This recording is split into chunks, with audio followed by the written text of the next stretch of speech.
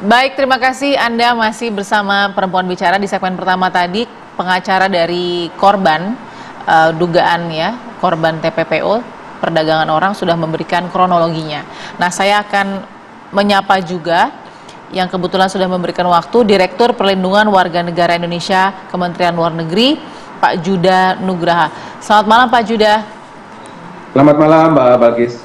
Baik, Pak, uh, saya yakin tadi Bapak sempat dengar juga bagaimana beberapa pertanyaan dari pihak pengacara ya.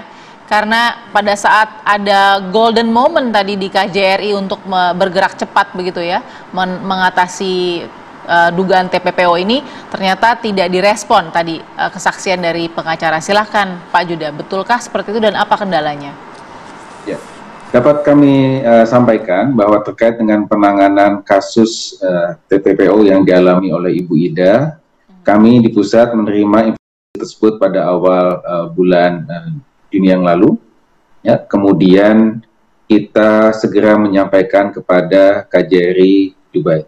Uh, Bapak Konjen sendiri yang kemudian memfollow up ya pada saat tersebut memang informasi mengenai keberadaan dan identitas Ibu Ida ya masih belum lengkap kita terima. Mhm. Kemudian kita coba untuk menghubungi berbagai macam masyarakat eh, kita, terutama pekerja migran yang ada di Dubai, untuk melacak keberadaan eh, Ibu Ida, termasuk dari dokumen paspor. Kami mendapatkan dokumen paspor Ibu Ida yang lama. Ya. Jadi memang Ibu Ida pernah berangkat ke eh, Dubai ya sebelumnya. Hmm. Nah, kemudian dari paspor yang lama tersebut kami lacak kembali, kami kerjasama dengan uh, dari KJRI kerjasama dengan Bapak Atpol ya, dari Riyadh hmm. dan berkoordinasi dengan Polres Cianjur dan kemudian kita mendapatkan informasi lengkap ya, mengenai uh, Ibu Ida. Semua informasi yang kita berhasil kumpulkan tersebut kemudian kita sampaikan kepada kepolisian Dubai untuk bisa dibantu melacak dan kemudian dilakukan langkah-langkah penyelamatan. Dan alhamdulillah uh, pada tanggal 10 uh, Juni pukul 4 dini hari kepolisian Dubai berhasil menyelamatkan Ibu Ida bersama satu warga negara Indonesia yang lain yaitu SP ya dan kemudian uh, saat ini sudah uh, berada di tempat yang aman di Women and Children Foundation milik uh, pemerintah Dubai. Okay. Uh, maaf Pak Juda, tapi kan tadi ada laporan dari uh, pengacara bahwa bukan hanya satu atau dua bahkan ada tujuh tadi kalau tidak salah yang disebut. Ada, ada enam ya Subang Cianjur tadi ya beberapa. Nah Banten juga ada tadi Pak Juda. Artinya ada sekian orang lagi yang masih belum jelas begitu statusnya yang diduga menjadi korban TPPO juga. Ini ada kendala apa mungkin Pak Juda untuk memastikan cross check identitas dan lain-lain yang sebenarnya berkejaran dengan waktu begitu?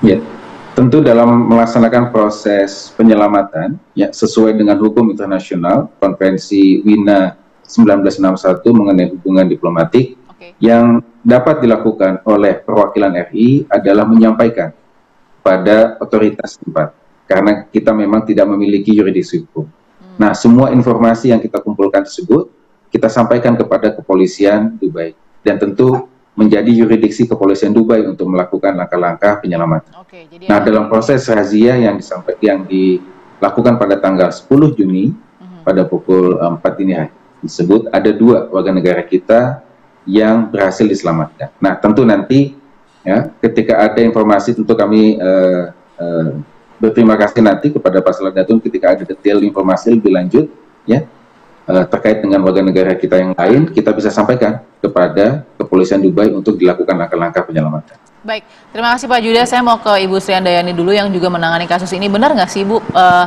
TKI, TKW, TKW ini juga dikirim ke Dubai dijadikan pekerja seksual? Baik, untuk kasus Ibu Ida ini hmm. sebetulnya adalah uh, masuk dalam kategori PMI unprocedural penempatan unprocedural yang mana di situ sudah masuk ranah TPPU juga. Oke. Okay. Jadi kalau kita berbicara uh, unprocedural pasti bagian dari TPPU. Hmm. Tapi kalau TPPU belum tentu dia adalah PMI yang unprocedural. Hmm. Jadi izin sebelum ini saya tadi lupa ada salam dari Pak Beni Ramdhani. Terima hmm. kasih sudah diundang dan salam kepada ibu bapak ibu narasumber. Yeah.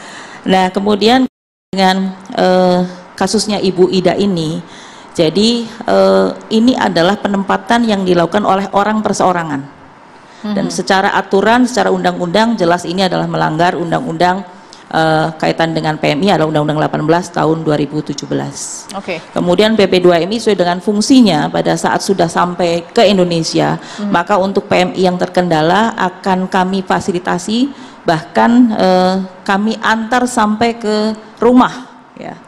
Nah, kemudian kami juga melakukan koordinasi dengan berbagai lintas sektor eh, Ya. kementerian lembaga eh, termasuk juga kami sangat mengapresiasi dan terima kasih kepada teman-teman eh, di Kepolisian Republik Indonesia yang sangat luar biasa di dalam melakukan pencegahan untuk TPPO ini dan teman-teman imigrasi yang melakukan pengetatan di eh, TPI. Eh, mungkin itu sementara yang bisa kami sampaikan, Oke. eh, Mbak Bilkis. Terima kasih.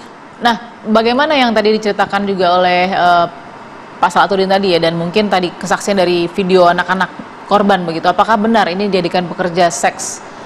Bisa? Iya, kalau dari hasil klarifikasi dan eh, kami dengar dari keluarga korban, karena memang ini kan eh, tadi saksi bahkan dari anaknya, ya.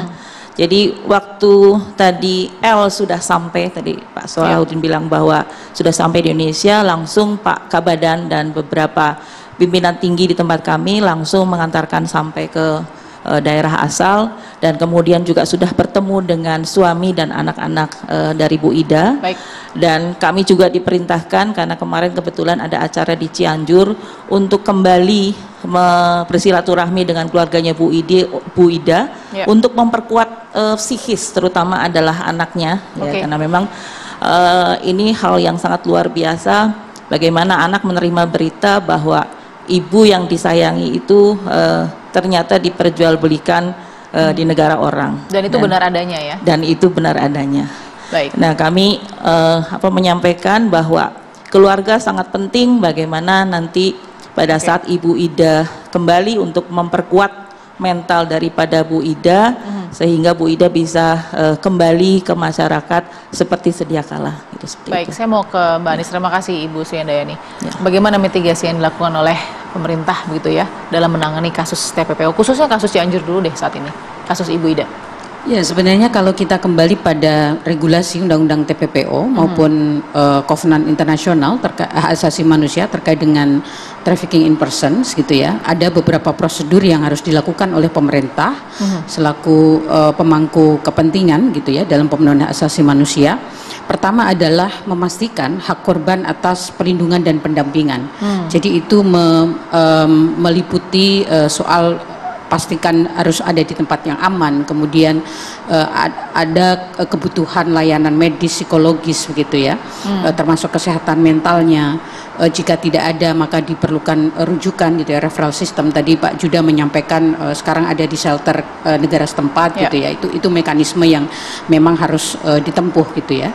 Eh, yang kedua tentu adalah eh, akses to justice gitu ya akses atas keadilan. Ya. Eh, bagaimana proses hukum yang sekarang sedang berjalan ini mesti dikawal dan eh, tidak kami mengapresiasi ada satu orang calo sponsor yang sudah ditangkap gitu ya. Tetapi bagaimana kemudian eh, yang lain-lain aktor eh, intelektualnya gitu ya. Eh, siapa tahu ada keterlibatan oknum negara misalnya itu juga eh, dipastikan gitu. Eh, kemudian eh, yang juga sangat penting yang juga sering luput dalam eh, pemenuhan hak korban itu adalah rights to remedy gitu. Hak atas pemulihan korban. Nah ini meliputi aspek-aspek eh, psikologis ya, eh, medis gitu ya. Karena mereka mengalami traumatik apalagi ini adalah korban eksploitasi seksual gitu. Harus dipastikan eh, hak atas kesehatan reproduksinya gitu ya. Bagaimana eh, dalam jangka pendek menengah panjang gitu ya. Ini eh, dipastikan termasuk juga hak atas restitusi nantinya dalam proses hukum ya. Ganti rugi Ya. karena banyak sekali kerugian yang sudah dialami para kor- korban gitu ya. Dan eh, tadi ada beberapa korban yang lain yang juga dalam proses ini mesti eh, dalam proses penanganan sejak awal ini dipastikan eh, restitusinya diperhitungkan gitu ya biasanya dalam hal ini penyidik LPSK menjalankan peran-peran itu gitu. Oke, eh, saya mau lihat lagi lebih dalam seperti apa. Saya yakin Ibu Sri sebagai praktisi belasan tahun sudah tahu betul bagaimana modus operandi dan sebenarnya yang dilakukan oleh um, tadi pemerintah begitu ya dan mungkin uh, pihak dari kedutaan juga sudah tepat atau sebenarnya bisa lagi nih dikejar lebih cepat. Apalagi kan masih banyak korban. Sesaat lagi ya Bu ya. Kita harus jeda dulu tetap di perempuan bicara